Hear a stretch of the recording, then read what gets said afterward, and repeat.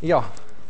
Eh, vi skal altså se på en alternativ formulering av eh, det problemet her, der vi skal opprette lager i tillegg til å dekke behovet i alle nodene her. Eh, og I den formuleringa her så skal vi nå ta utgangspunkt i at vi har en avstandstabell med korteste avstand fra enhver node til en hvilken som helst annen node. da vet vi jo fra kapittel 11 og 12 at eh, overgangen fra en sånn nettverk som det der, med kun eksisterende direkte forbindelser, til en sånn eh, tabell som det her, så må vi løse en mengde korteste vei-problem. Det er faktisk 36 eh, eh, sånne LP-problemer vi må løse for å finne korteste vei i 36 ulike tilfeller her da, før vi kommer frem til den der. Så det er masse sånne eh, forberedelsesarbeid før vi kommer så langt som det. Men har vi den der, da skal vi vise en alternativ måte å gjøre det på. Og da skal jeg rett og slett bare kopiere den tabellen her. Og så lime den inn og si at vi skal nå ha en ny tabell der vi istedenfor avstand skal ha mengdene. Slette disse her, altså. Så i den tabellen her så skal vi nå ha beslutningsvariablene våre x, i, j. Og da får vi jo da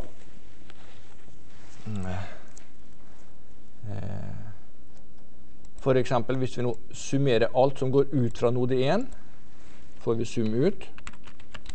Og da kan vi bare skrive dette som sum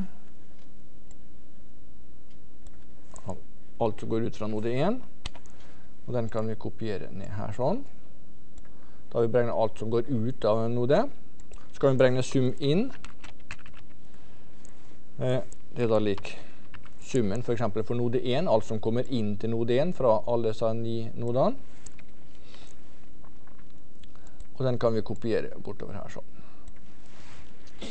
Eh, nå er det jo mange måter å organisere regnearket på, men de skal fortsette bortover her nå. Slik at de skal ha mm, eh, vide kolonner bortover her for å angi nodene. Og da kan det være greit å få disse sum inn, få dem angitt også her oppe. Så derfor så skal jeg rett og slett bare kopiere opp igjen den sum inn. Og da skal jeg flytte disse tallene som nå ligger her nede, som er en linje, og kopiere dem inn som en kolonne. Og da markerer jeg alle cellene her oppe. Skriver jeg lik transpose. Og så angir jeg disse cellene som skal inn der. Slutt. Og så Dette blir nå en vektor, eller en matrisefunksjon, der jeg skal angi alle disse cellene her til å være lik disse cellene der. Og når jeg bruker sånn vektornotasjon, eller vektorformler, så må de angis med kontroll, skift og enter. Så jeg holder ned kontroll, skift før jeg trykker på enter. Så det jeg har gjort nå, det er rett og slett bare å legge inn igjen disse tallene her opp hit. Men snudd dem da 90 grader, for å si det sånn. Eh, så skal jeg beregne størrelsen på lageret vårt. Eh, og nettobeholdninga. Og vi er jo på jakt etter den materialbalansen her, bl.a. Som da er lik lageret vårt, sum inn minus sum ut.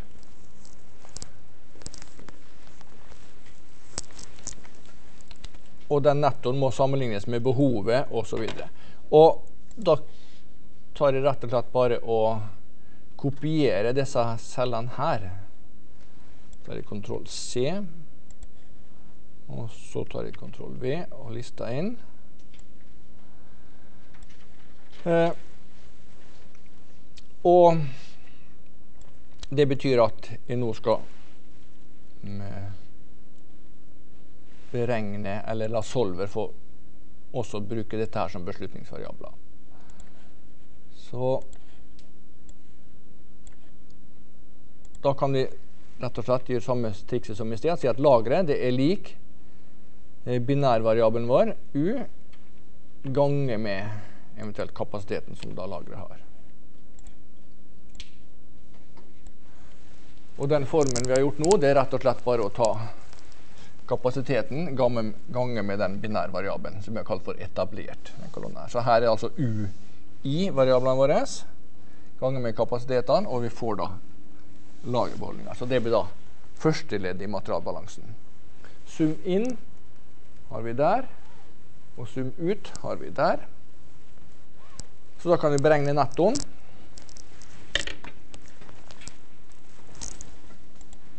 Til å være lik lageret vårt pluss inn minus ut.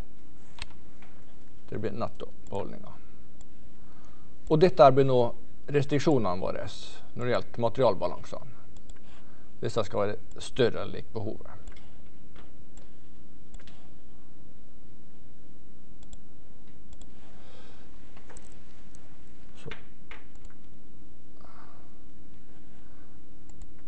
Eh,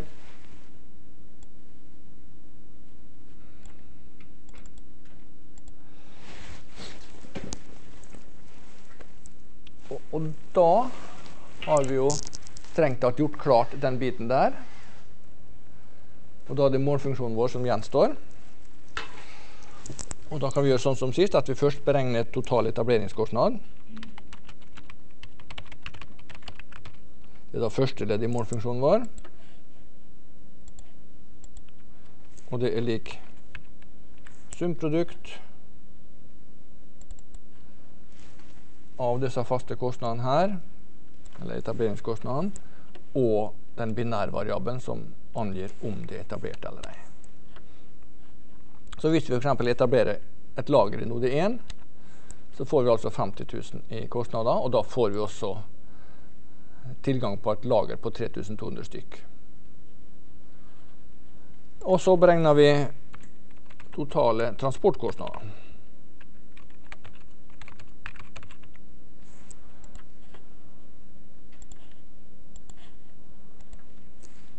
Det er da lik mm. sumprodukt av avstandene her og mengdene her. Som jo er det som står her. Avstandene, korteste avstand, ganger med mengdene. Og det er nettopp den formen vi har nå. Avstandene ganger med mengdene, og så skal det summeres. Multipliseres og så summeres. Så det blir andre leddet i målfunksjonen.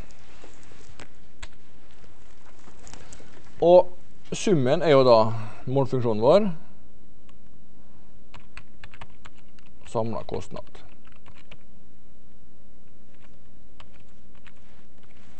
Summen av disse to der som da blir målfunksjonen vår. Angir da den med rødt her. Som da skal minimeres. Da tror jeg vi er klar for å sette opp solvermodellen vår. Eh, målfunksjonen er altså samla kostnad. Klikker på objektiv her og pluss. Eh, men vi må endre den fra maksimum til minimering her. Så skal vi angi variablene. Først har vi da x-variablene våre, altså transportmengdene, på pluss.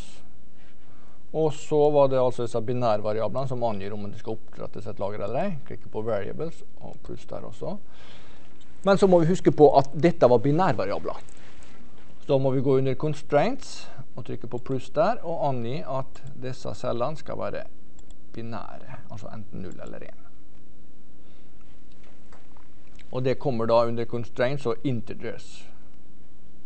Og de er angitt som restriksjoner. Og så var det da materialbalansene våre at det blir en ny restriksjon. At nettoen her pluss Den nettoen skal være større eller lik behovet. Og det er da det som står her. Her er nettoen. Og det skal være større eller lik behovet.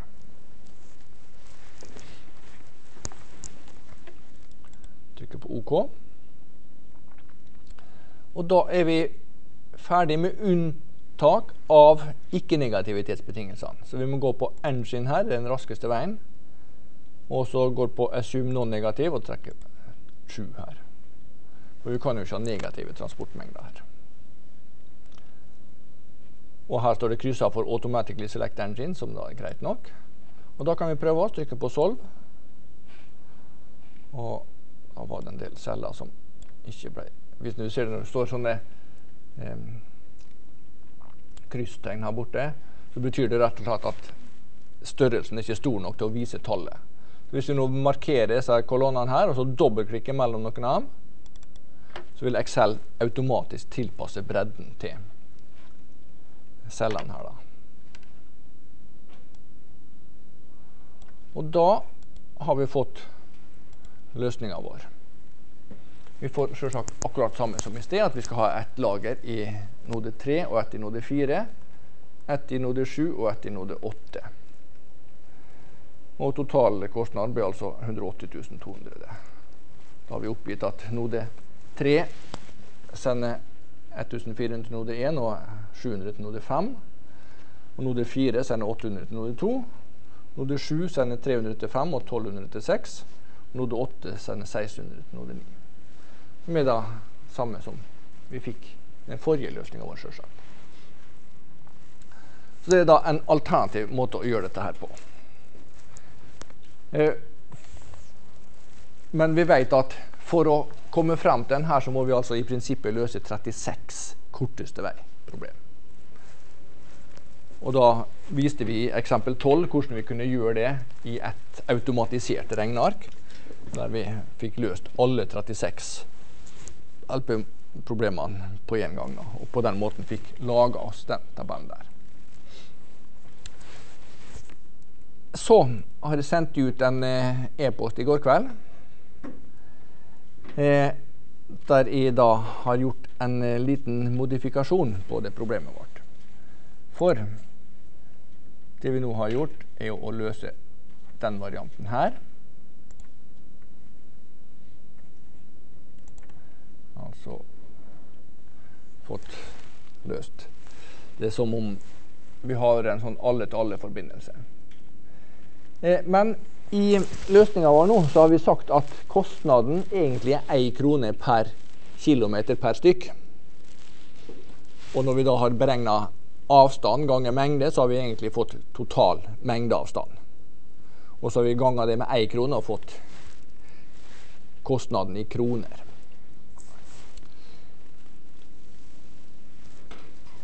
Og da fikk vi altså at det var, når kostnaden var én krone, at det var optimalt å ha fire lager. Eh, og det er fordi at vi nå har kapasitetsrestriksjoner på disse lagrene. her. De har ikke kapasitet til å dekke så mye, slik at vi må faktisk ha minst fire lager. Så selv om kostnaden blir under ei krone, selv om transportkostnaden var gratis her, så trenger vi fire lager. Så det er da kan du si, grunnen til at vi nå har fire lager her, det er rett og slett at vi greier oss ikke med mindre enn fire lager, for at kapasitetene på lagrene er så liten. Men hvis nå transportkostnadene øker, så kan det hende at det blir lønnsomt å bygge mer enn fire lager for å slippe transport og ha flere lager istedenfor. Og det er det vi nå skal analysere. Så det vi skal gjøre, putte på et ny parameter K, som er enhetskostnaden per eh, lengdenheter. Samme modell i prinsippet som før, slik at eh, målfunksjonen eneste forskjellen med målfunksjonen er at vi nå har multiplisert disse her eh, avstandene ganger med mengdene. Det vi ender opp her med, er total mengdeavstand. Og så ganger vi med prisen på mengdeavstand. Så hvis det koster 1 krone per kilometer per stykk, så ganger vi med 1 og får da totalkostnaden. Men hvis den, den her er 10 kroner per kilometer per stykk, så må vi jo selvsagt gange mengdeavstanden med 10. Vi trenger ikke å ta Vi kunne ganga hvert enkelt ledd med K her, men det er tilstrekkelig å ta summen. For hvis alle hvis prisen per stykk per kilometer er den samme for alle greinene her, så er det nok å ta den multiplikasjonen helt til slutt. Og det er det vi nå skal gjøre i regnearket vårt. Og da skal vi gjøre en del modifikasjoner her. Vi skal putte på eh, For det første skal vi nå beregne sumceller her. Eh, og så skal vi beregne eh, Angi en um, PS opt-value her som vi skal benytte for å kjøre automatisert solver. Og så skal vi legge inn en parameterverdi her. 1 i første omgang, at kostnaden per mengdenhet var 1, og gange med den mengdeavstanden her, slik at det da blir for én gange mengdeavstand på 20 200 stykkkilometer, for å si det sånn, ganger med prisen per stykkkilometer, og vi får da selvsagt en kostnad på 20 200. Så det skal vi ta og gå inn i regnearket vårt og gjøre.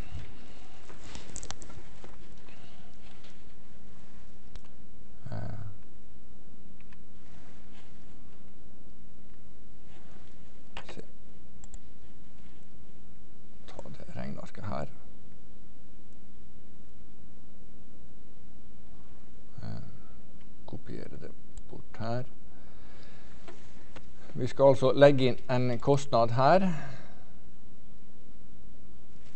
Eh,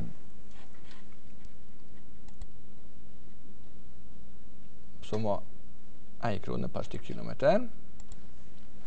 Det er altså PSI eh, Hva var det vi kalte den, da? Optparam, var det vi kalte den for. PSI opt Param. Og hvis vi trykker på funksjonshjelperen her oppe Her oppe har vi jo en, en funksjonshjelper, så hvis du trykker på den, så ser vi at nedre verdi eh, Vi kan si at vi skal begynne på 1 og ha en kostnad helt opp til 50 per men at eh, base case er én kostnad på 1. Så Det betyr altså at vi skal legge inn et parameter som kan variere fra 1 til 50, men at eh, basisstørrelsen skal være 1 krone. Så dette er det nå kostnad per av stand per mengde. Og da tar vi rett og slett den eh, mengdeavstanden som er borte fra før, og ganger med den kostnaden her. Da har vi ganga med K. Den leddet skulle jo ganges med K. Sånn som det der.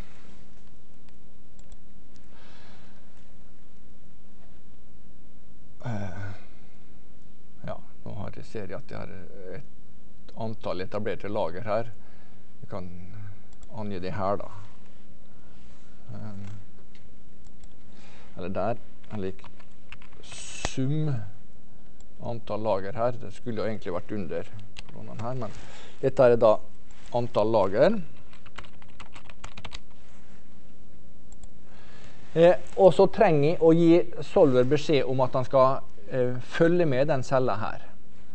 Og det er da den eh, referansen som er gjort her, PSI opt value. Han skal eh, rett og slett ha det som en sånn monitorcelle. Og det bare putter jeg her og sier at dette er PSI opt value. Og den skal da referere til ja, det var celle i12, var det det? Ja, der. Den skal rett og slett holde øye med den eh, antallet lager her. Eh, Og det som nå gjenstår, det er rett og slett å gi Solver beskjed om at den skal kjøre et gitt antall eh, optimeringer, der han varierer den størrelsen her, si param,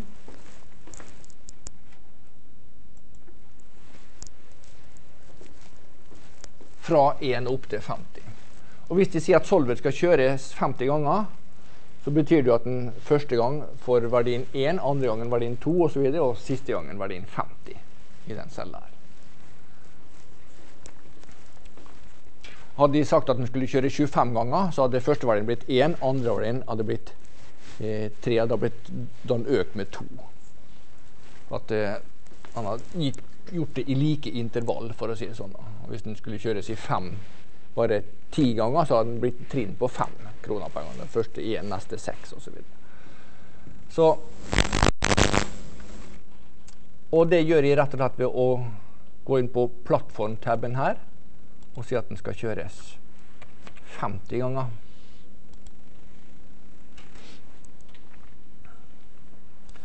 Så det er da neste trinn her.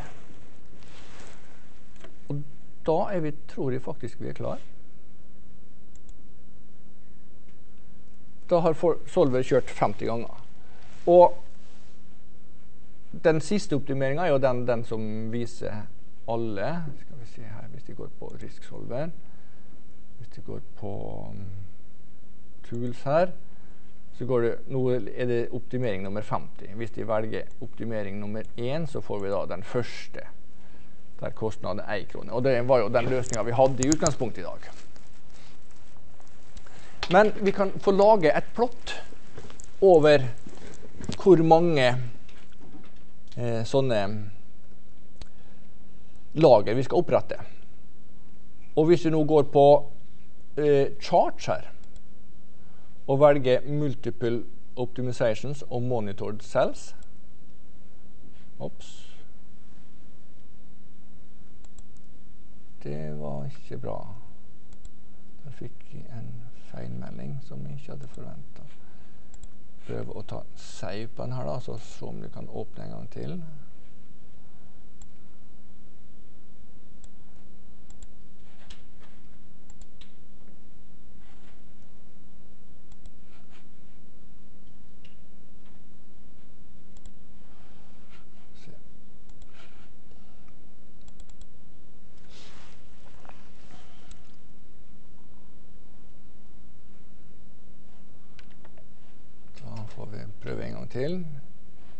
Kjøre solver.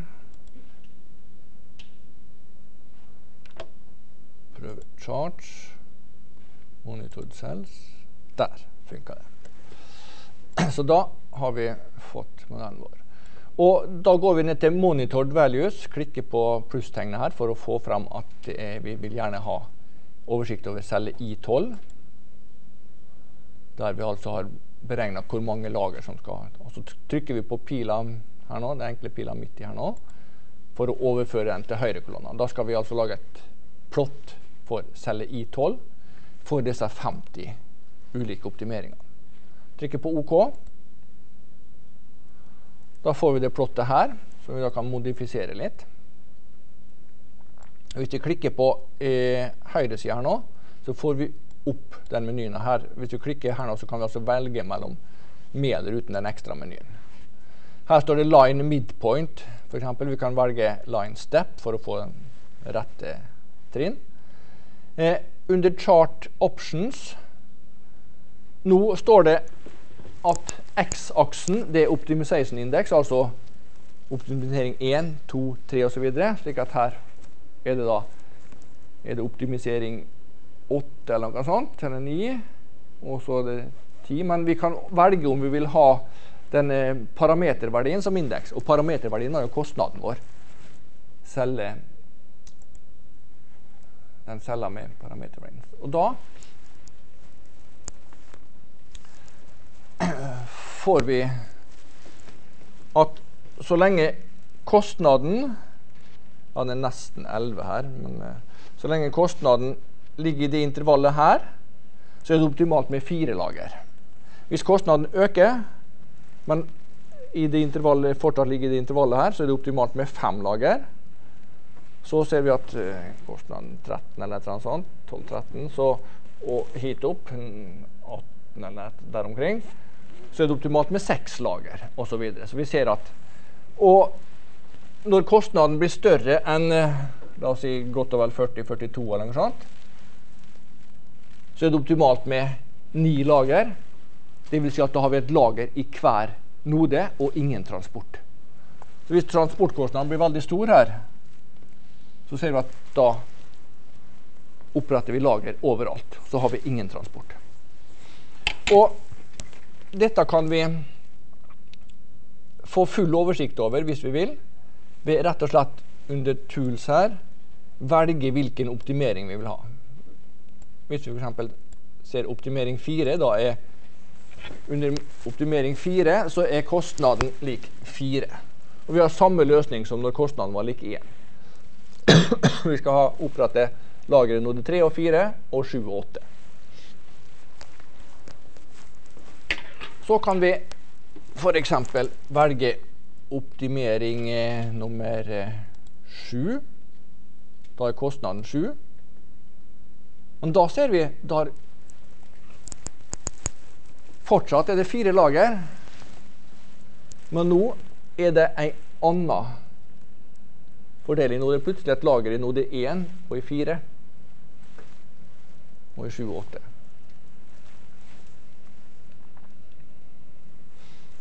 Og hvis vi øker kostnaden til Går på tools, se på f.eks. optimering nummer 15. Da er kostnaden 15. Da ser vi at da er det seks lager som skal etableres. Da er node 1, 3 og 4, 6, 7 og 8, f.eks. Så det at vi nå la inn en sånn eh, parameterverdi her nå, som Solver da vil endre på avhengig av hvor mange optimeringer vi kjører. Og vi la inn at Solver skulle kjøres 50 ganger. Så betyr det da at under Tools her så kan vi få velge f.eks. hvilken optimering av disse 50 optimeringene vi vil vise. Og hvis vi vil vise optimering nummer 18, som da tilsvarer at kostnaden er 18. Da ser vi at vi skal ha seks lager. Og lager 1, 3 og 4, 6, 7 og 8 f.eks. Og hvis vi øker kostnaden til 40 Da må vi gå til optimering nummer 40 her. Da ser vi at det er åtte lager som opprettes. Det eneste i node 2 at det ikke er oppretta lager. For da er kostnaden så stor med transport at det er lønnsomt å ha lager nesten overalt. Og øker vi kostnaden her tools, optimering går på optimering 42 f.eks. Da ser vi at når kostnaden er blitt 42 per stykk, da har vi null i transportkostnad fordi at vi har lager overalt. Så vi sender ingenting. Vi oppretter et lager i hver node og transporterer ingenting fra lagrene. Vi har selvsagt transport til lagrene, men det inngår ikke i den modellen her. Så da ser vi at den løsninga vi har fått her nå, den er selvsagt avhengig av den kostnaden her. Vi hadde i prinsippet sagt at den kostnaden er 1, altså proporsjonal med mengdeavstanden. Er avstanden større, så blir kostnaden Er avstanden 1 km lenger, så blir kostnaden 1 km større hvis vi sender én en enhet langs den mengden. Så at vår kostnad her, total transportkostnad, er altså lik mengde ganger avstand ganger pris per eh, avstandsmengde. Men hvis den prisen blir veldig stor, så lønner det seg ikke å sende varer. Da lønner det seg å opprette lager overalt istedenfor. Så det var da det tillegget som vi gjorde nå i eksempel 15. da. Og det sendte ut den eh, e-posten i går, som da beskriver disse tilleggene der. Så det er viktig å ha i bakhodet at eh, løsninga vår er avhengig selvsagt av kostnaden. Så den løsninga vi fikk med fire lager, den er gyldig så sant kostnaden er under 28 kroner. Blir den mer, så blir det plutselig lønnsomt å ha fem lager, eller seks hvis den blir enda større. Så da har vi fått demonstrert hvordan vi da kan kjøre parametrisk analyse i Solver og utnytte at Solver kan automatiseres og kjøres automatisk. Så det var eksempel 15. Da skal vi gå i gang med eksempel 16. I eksempel 15 så var problemet å finne lokaliseringa av eh, lager for å dekke etterspørselen i alle noder. Det var altså en grossist som da skulle bestemme hvor mange lager han skulle ha. Eh, men i eksempel 16 eh, så er problemstillinga litt annerledes. Vi har samme nettverk her nå. Men nå er problemstillinga at vi ønsker å finne minste maksimalavstand. Vi kan forestille oss nå at vi skal lokalisere brannstasjoner som skal betjene disse ni nodene her. Og da ønsker vi selvsagt at brannstasjonene ikke ligger for langt unna. Så vi ønsker nå at den lengste avstanden skal være minst mulig. Vi skal altså minimere maksimal avstand. Og vi skal eh, anta at eh, vi ikke skal etablere mer enn maksimalt to brannstasjoner. Hvis vi hadde etablert ni brannstasjoner, så hadde det jo blitt ingen avstander, selvsagt, for da var det en brannstasjon overalt. Så i dette tilfellet så skal vi nå anta at vi skal etablere maksimalt to brannstasjoner. Og da er spørsmålet hvor skal de lokaliseres, slik at eh, avstanden blir kortest mulig til de nodene som brannstasjonen betjener. Og nå trenger vi faktisk denne avstandsmatrisen her. Nå skal vi ta utgangspunkt i den i det datasettet der at vi har beregna avstander fra alle til alle, slik at f.eks. fra node 2 til node 9 så er avstanden 16, og da vet vi at da er det ei spesiell kjørerute som gjelder. Var den vi fant i kapittel 11 f.eks. Og I kapittel 12 så viste vi da hvordan vi kunne finne alle disse der. og finne kjøreruta. Nå tar vi utgangspunkt at vi har beregna en sånn tabell med korteste avstand fra en node til en hvilken som helst annen node. Og vi kan altså plassere en brannstasjon i en hvilken som helst av disse ni nodene. Og vi skal plassere inntil to sånne. Eh, og hver brannstasjon kan betjene alle ni nodene. Slik at det ikke er noen sånn kapasitetsbegrensning i utgangspunktet her. Hvis vi har etablert en brannstasjon, så kan den betjene så mange noder som vi bare ønsker.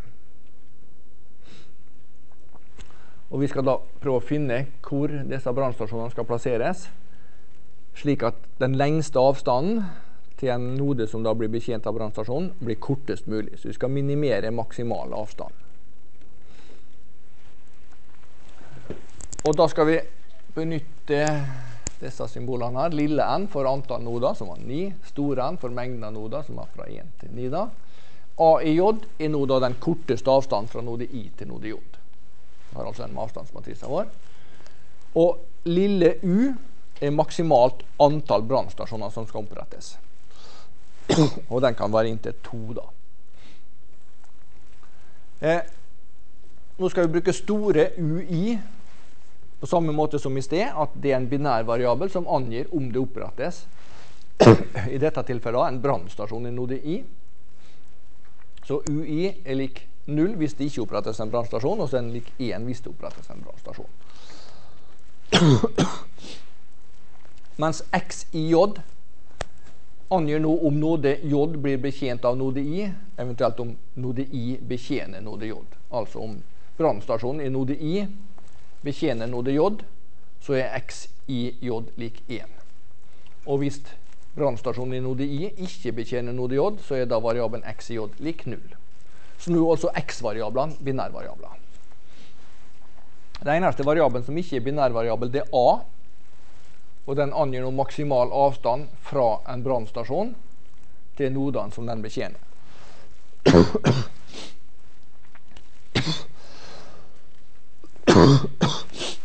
Så dette her er da variablene våre. Vi har tre variabler, og to av dem er binærvariabler. Det er kun A her som er en valgfri kontinuerlig variabel. Målfunksjonen vår er veldig grei. Vi skal minimere A. Og det høres jo veldig enkelt ut. A kan vi velge størrelsen på, for det er en beslutningsvariabel. Samtidig så er målfunksjonen vår som vi skal minimere. For A er altså en variabel som skal representere maksimalavstand fra en eh, brannstasjon til den noden den, de nodene den betjener, og vi skal minimere den. Så målfunksjonen vår, 16.1, minimer A. Det er veldig enkel målfunksjon.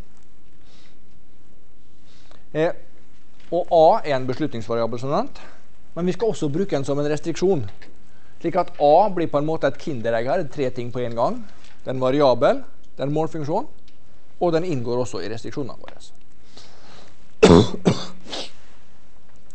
Eh. Så det, kommer det første restriksjon her, som er ganske opplagt. At en node må bli betjent av minst én brannstasjon. Og da summerer vi fra alle noder i til en node j.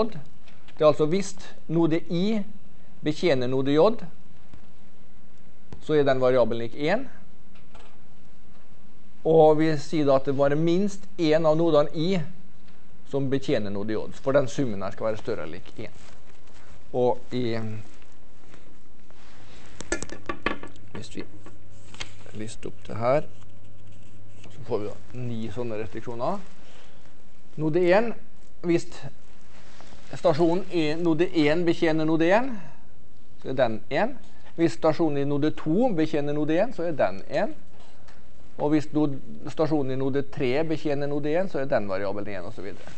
så dette er da alle de ni mulige eh, nodene som kan betjene node 1. Og de er enten 0 eller 1, så minst én av disse her må være lik 1. Så den summen må være større eller ikke. Det må være minst én stasjon i node 1, 2, 3, 4 osv. som betjener node 1. Så får vi det samme for node 2. Enten så må stasjonen i node 1 betjene 2, eller stasjonen i node 2 betjene node 2, eller stasjonen i node 3 betjene 2 osv. Så, så summen her blir da antall stasjoner som betjener node 2, og det må være minst like 1. Større enn like 1. Så det blir den restriksjonen her. Minst én node må betjene Eller minst én brannstasjon må betjene noden. Og den, en sånn restriksjon må vi ha for alle ni nodene.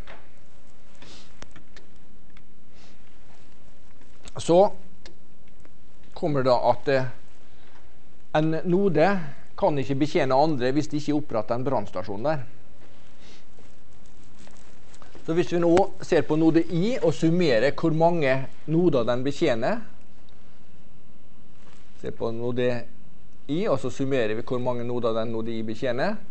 Så må, det være mindre lik lille n, som var da i vårt tilfelle ni brannstasjoner. Altså eh, Det betyr at en brannstasjon I kan ikke betjene mer enn ni stasjoner, men kun hvis det er oppretta en brannstasjon i node I. For hvis UI her er lik 1, så får vi da en kapasitet på 9 stykk. Og da kan stasjon I betjene inntil 9 stykker. Men hvis den variabelen her er lik 0, da blir jo produktet her 0. Og da kan stasjon I ikke betjene noen. For da må summen være mindre enn lik null. Og det er det da som er i neste ledd her.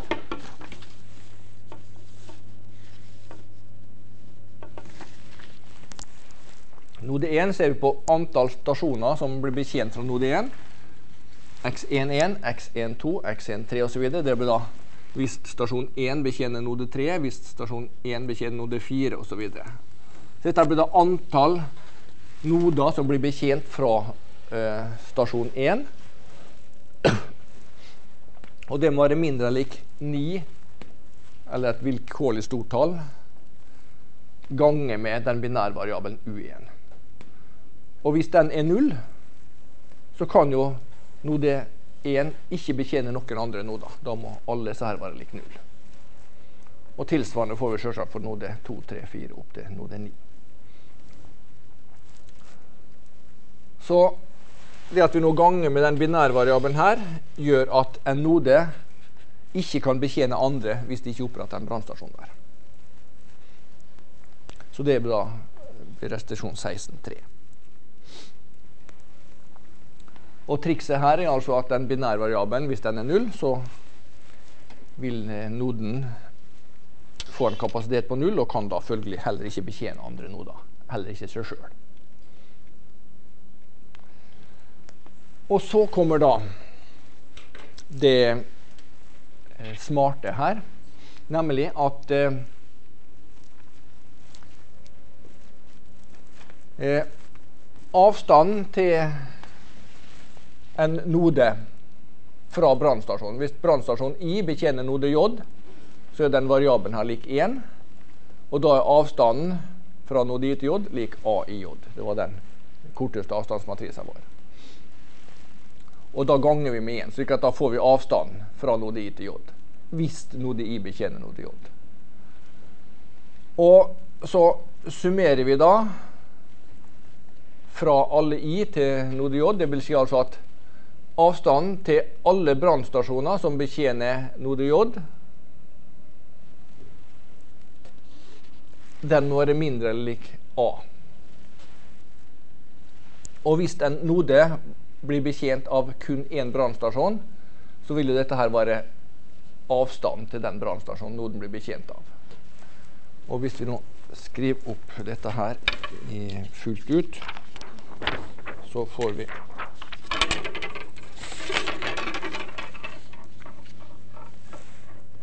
restriksjonsobsesjonen ut. For node 1 så er avstanden fra node 1 til 1 den er null, selvsagt. Eh, og fra node 2 til 1, hvis brannstasjon 2 betjener node 1, så er avstanden 2. Hvis node 3 betjener node 1, så er avstanden 4. Og hvis node 4 betjener node 1, så er avstanden 5. Det er den også hvis node 5 betjener avstand, eh, node 1. Hvis node 6 betjener node 1, så er avstanden 9, osv. Og vi vet at hvis en node ikke betjener node 1, så vil jo variabelen her, x-variabelen, være lik 0, og da nuller vi ut avstanden. Mens hvis en node betjener node 1, så vil binærvariabelen her være lik 1. Og hvis det er bare én sånn binærvariabel som er lik 1, så vil vi jo rett og slett bare plukke ut avstanden til den brannstasjonen som betjener node 1. Hvis det er to brannstasjoner som betjener node 1, så får vi summen av avstandene her. Men da vil jo modellen kutte ut den eh, noden som eventuelt ligger lengst unna, og sette den variabelen lik null. Slik at det vi ender opp med her, er at det faktisk bare er én node som betjener node 1. Og da vil den summen her rett og slett bare plukke ut den ene avstanden. Og den avstanden må være mindre lik A. Så det som står på venstresiden her nå, det blir avstandene som hver node har til sin brannstasjon. Og alle de avstandene skal være mindre enn lik A. Også den største avstanden. Og når vi da minimerer A, så betyr det at vi minimerer også den største avstanden. Og det her er det, det geniale at når vi nå minimerer A, så minimerer vi den maksimale avstanden som er til en brannstasjon. Så det er da restriksjon 16.4 her som løser problemet vårt. Hvis vi ikke hadde sagt noe mer nå, så hadde optimalløsninga vært å ha hatt ni brannstasjoner der hver node betjente seg sjøl. For da ville avstanden bli null. Men så sa vi nå at antall brannstasjoner skulle være maksimalt to. Slik at summen av disse binærvariablene U1, U2 osv. skal være mindre lik to. Så på den måten vil vi nå tvinge frem at det ikke blir oppretta mer enn maksimalt to brannstasjoner. Og Da skal vi altså prøve å finne den lokaliseringa som er slik at den største avstanden til de nodene som da blir betjent, blir minst mulig ved at vi minimerer A her. Og disse restriksjonene her lister jo nå opp avstandene som en node har til sin brannstasjon. Og alle de avstandene skal være mindre like A, også den største avstanden. Så det er da eh, Kan du si Den eh, kjernerestriksjonen i den formuleringa her, eh, det er restriksjon 16.4. A er altså en beslutningsvariabel. Vi kan sjøl bestemme størrelsen på A. A er også målfunksjonen som skal minimeres. Og A ser vi er høyresida på en mengde restriksjoner her. Slik at A er både en variabel, en målfunksjon og en restriksjon.